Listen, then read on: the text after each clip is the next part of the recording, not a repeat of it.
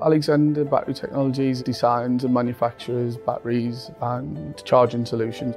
We've got great flexibility in our manufacturing capability and the resource that we have on site to be able to support any customer with any application that they need. We spend a lot of time on the customised design to make sure that exactly what we select and how we engineer those components to work together clearly and accurately match the customer's application. After the design's happened, I'll make sure that I have the dedicated engineers using our dedicated labs to build a process into the quality of that product.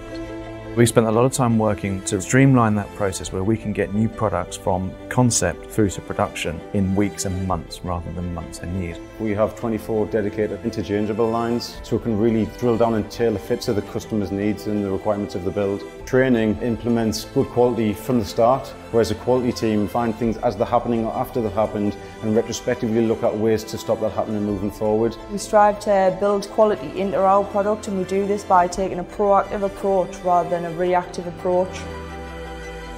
We're very proud of our on-time delivery performance being over 96%. We do hold a lot of stock on site to be able to help customers with flexible demand. Over the last few years there's been a huge investment in both new equipment and process change. We're very proud of the growth that we've had and we're continuing to work on how we grow even more.